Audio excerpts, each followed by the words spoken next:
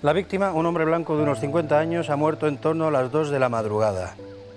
Causa de la muerte, asfixia. Lo han estrangulado.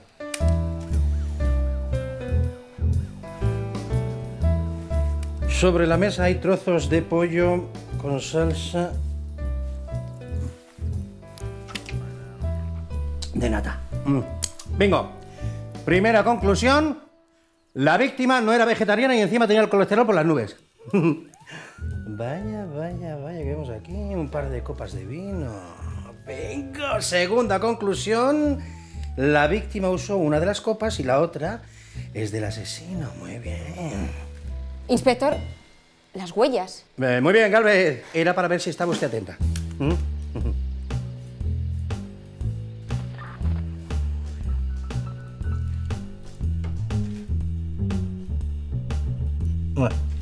Mala elección. Tiene exceso de taninos. Un experto en vinos como yo le podría decir solo por el olor un montón Creo de que se cosas equivoca, sobre el- inspector Simarro. Esa cosecha fue una de las mejores. De hecho, es un vino que pasó un montón de tiempo en barrica. La oficial Gómez tiene razón. Por eso ese color rojo teja y ese aroma a frutos conservados. Bueno. Esto es el colmo.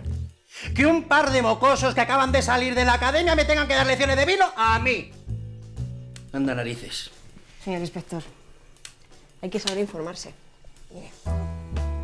Escanea con tu móvil el código QR situado en la contraetiqueta de la botella y accede a los vídeos en los que un experto enólogo te dará información clara y sencilla de cualquier vino en tu idioma. O si lo prefieres, entra directamente en la página web videocata.tv, el innovador portal de internet que te permitirá adentrarte en el mundo del vino.